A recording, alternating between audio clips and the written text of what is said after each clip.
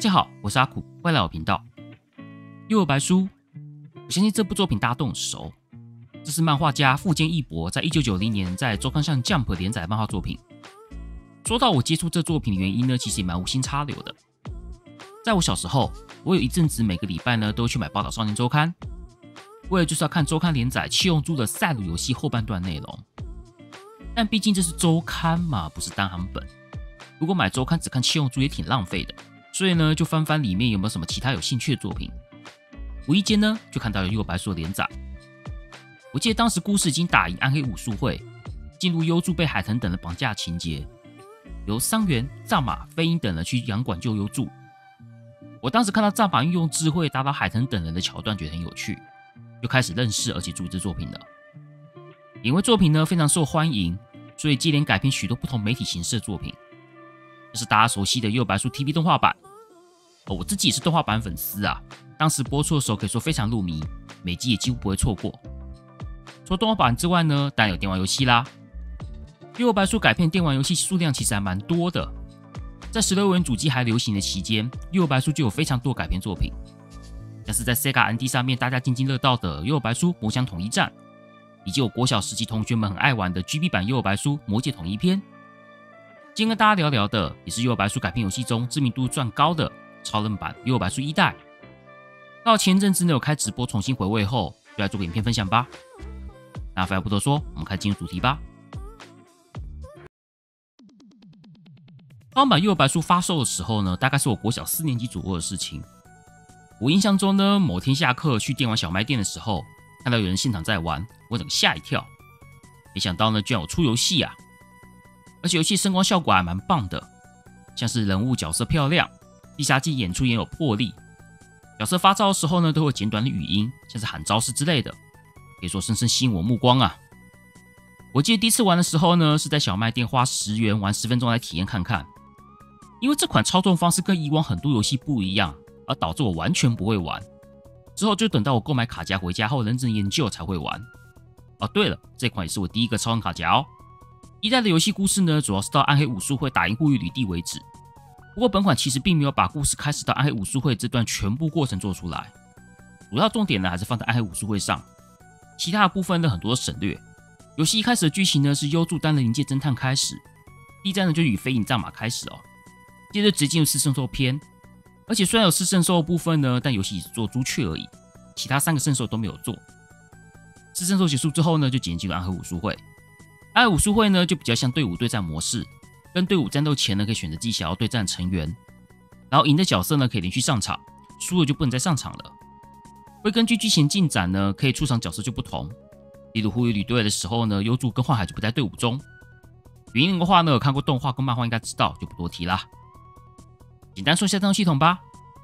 游戏的行动呢有分四类哦，一种是拳头，亮条朝右集气；灵力攻击，亮条朝下集气。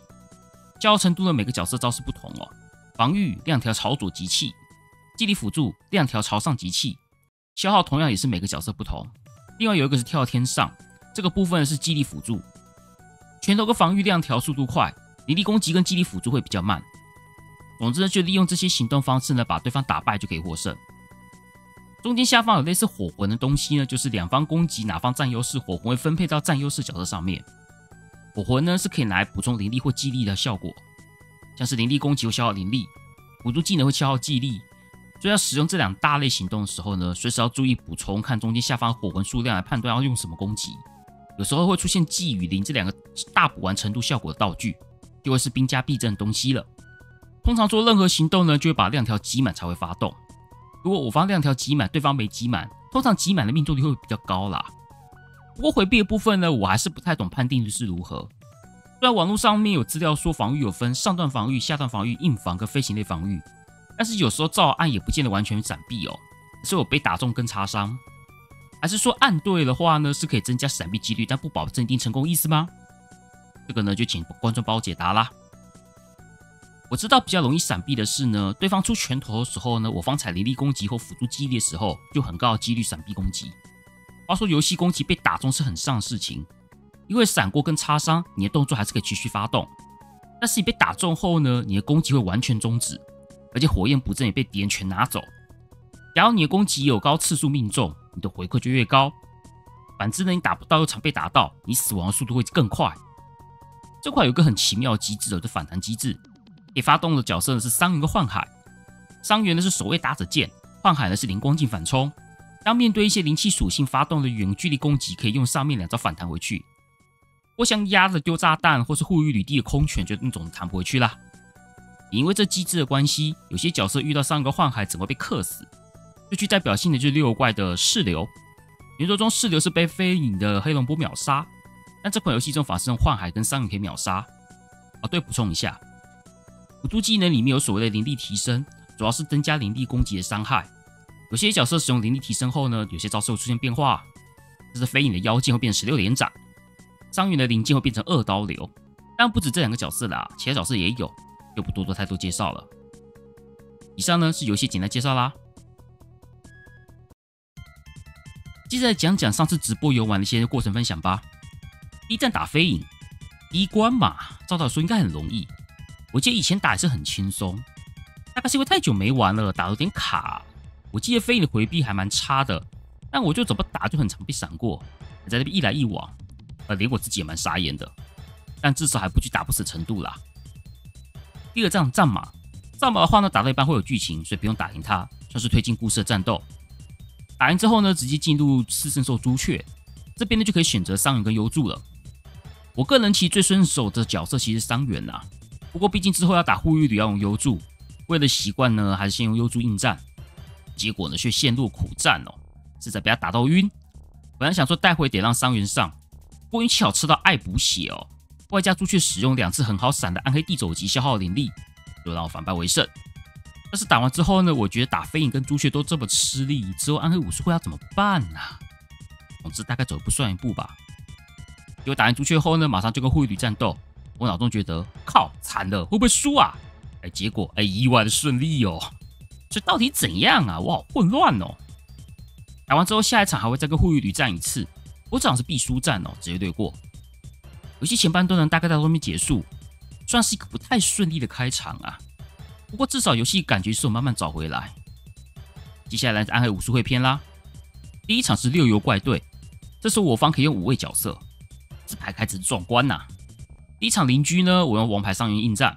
不过这场呢，不知道邻居是可怜我还是小看我，几乎动拳头打，完全不用离力攻击啊！所以我一开始就取得蛮大的优势，甚至把邻居打到昏倒。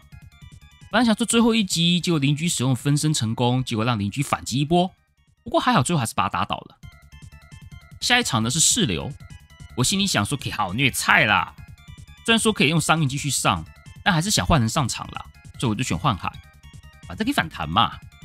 不过这场呢，居然遇到苦战哦。大概是我太刻意使用灵光镜反冲，势流多用一些不用反弹的招式的关系，导致我灵力消耗过快。蛮多时候其实没灵力可用啊，就是被势流掌握攻击节奏。不过还是扳回一城险胜哦，哎呀，真吓死我！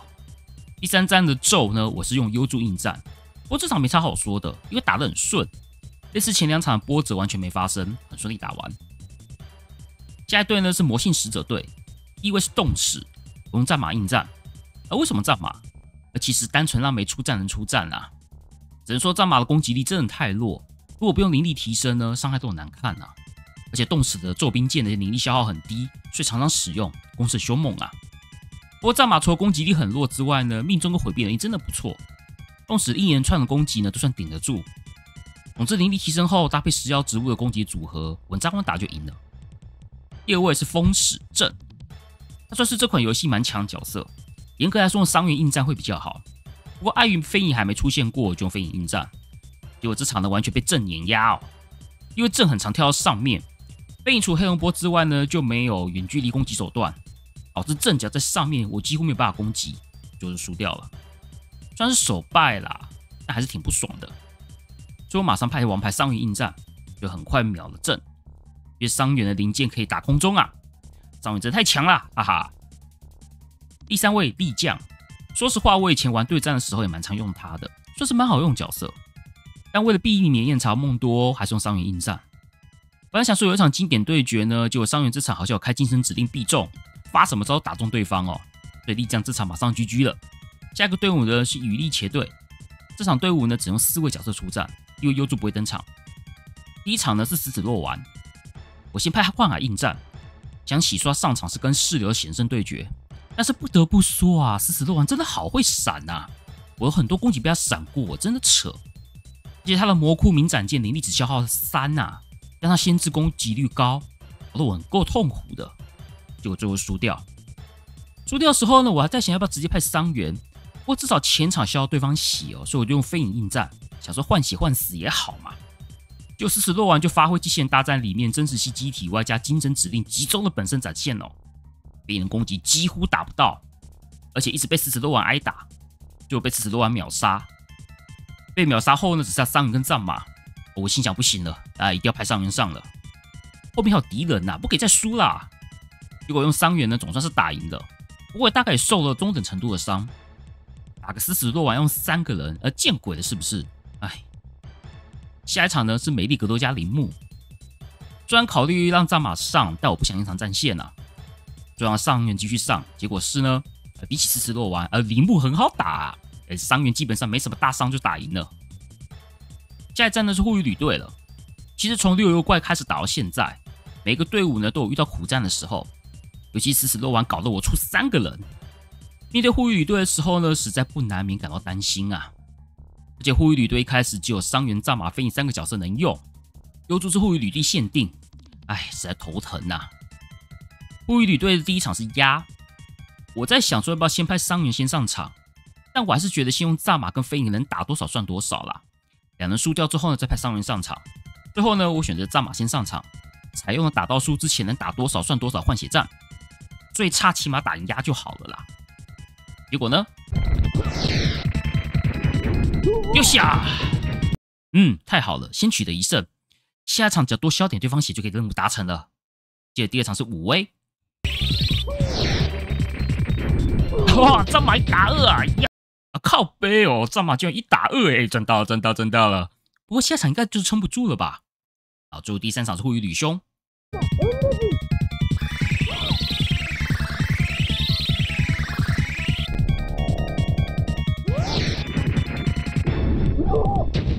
哈哈哈！靠腰啦，战马一打三，太爽啦！哇塞，我还以为是苦战呢，结果战马一打三做收。我看到这场景哦，我也只能说。世事难预料。接下来呢，就是优助跟护羽旅对决。第一场是正常状态，第二场是百分之一百状态。虽然说是最后一场哦，但反而没啥好说的，因为都打蛮顺的。优助基本上呢，就散弹灵丸、灵拳搭配灵力提高，就顺利打赢。而且跟百分百护羽旅战斗的时候呢，他一直都被优助散弹灵丸打中，所以还蛮轻松的。打赢之后呢？最后就是看全部画面结束这游戏啦。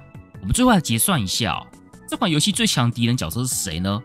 嗯，我的答案是狮子多丸，因为我为了打赢他画三个人呐。那我方 MVP 是哪位呢？啊，当然是战马啦，或是他一个人可以干掉护羽队三名成员就实至名归了。而且先前的动实战他也是胜利的。那打起来最胜利队伍是哪个队呢？意外是护羽旅队啊，因为整个护羽旅队只用两个人就打赢的，分别是战马一打三跟优助一位。而且优助是被剧情绑定的，没想到这次闯王会出现整个我印象完全不一样结果啊！这是很有趣的事情。以上超玩版右白书一代的分享到这边啦。至于未来会不会分享其他右白书游戏，呃，应该有机会啦。可能等我开直播完过后呢，几率会比较大啊，到时候再看看吧。本期影片呢就到这边啦。喜欢影片呢，请按赞、订阅、分享，开小铃铛。我是阿酷，我们下部影片再见喽，拜拜。